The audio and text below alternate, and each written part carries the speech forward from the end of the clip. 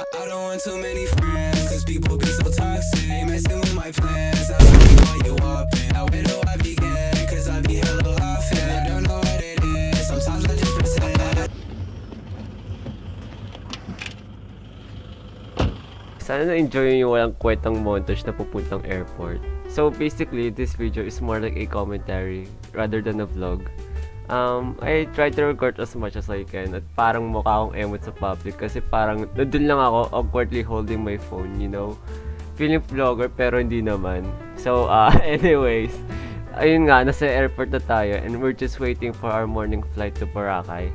As you can see, somewhat early yung gising ko and at the time, natapos ko na lahat ng mga activities and schoolworks para I have nothing to worry about. Sorry na kung medyo random yung pinagsasabi ko. Gusto ko nang pumunta sa ating next segment.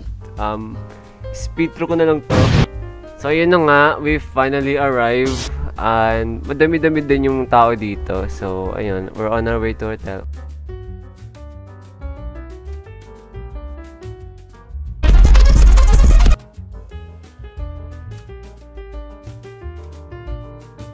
Social nga, yung CR nila may ilaw.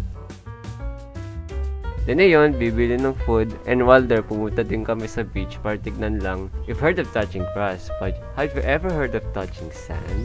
Bakit ko ginawa yun? Corny ko. So yun, paggabi na, naghahanap na ng mapagkakainan, tapos sandoksan pala. Kala ko iba. And then, naglakad pabalik sa hotel. The next day, I decided to go for a walk. Nag-search ako at ganito pala kalayo na lakad ko. Then along the way, nakita ko si Superman. Skip tayo sa hapon kasi wala naman nangyari. Ayun, nagpa-breed ako at and uh, kumain na dito. So yun, uh, day something. Wala akong masyadong nakunan. Ito lang talaga. So basically, nag-land lang kami. And napunta sa mga beaches and stuff, you know. Also, um, sa time na to, uh, masakit yung ulo ko. Plus, parang may humihila sa buhok ko kasi, ayun, may breathe nga ako. Pagpalit ang hotel after na lantern, natulog lang ako. The next day, nag-boat ride something kami. Hindi ko lang kung ano tawag, basta ganun. Uh, tour ba? Ewan ko. Um, and while exploring the surrounding area of responsibility, uh, I saw this and I think, wow, this says a lot about our society and economic plan. And the education, ayaw ko na.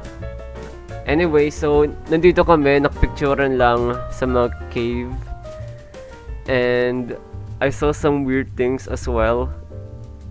I also wanna mention that sa time na to, it's like magto 2pm na. And, besides breakfast, isang kalating burger pala nakakain ko. At binasa pa siya ng alon. In conclusion, um, gutom na gutom na ako noon.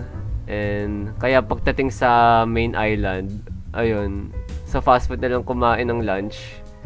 At nakita ko pa to. So, uh, skip tayo.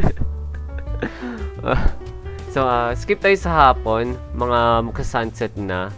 So, yun. Uh, dito kami kakain. Um, joke lang pala yon Dito pala. It's a prank. Dito pala talaga. Okay, final na to. And, ayun, last day na agad sa bar. Parang wala nangyari, no? Nag-speedrun lang ako. So, ayun, maaga ako nagising to catch a flight. Pauwi. Tapos, bigla ko naalala na may class pala the week after this, so... Ayoko na. And, ayun, pag uwi, napagod ako, kaya wala naman ako nang gawa. So, yun lang, the end. Yay.